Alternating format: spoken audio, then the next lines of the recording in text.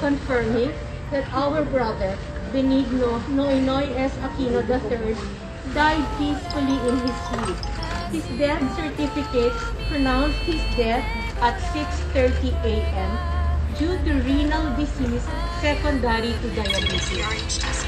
No words can express how broken our hearts are and how long it will take for us to accept the reality that he is gone.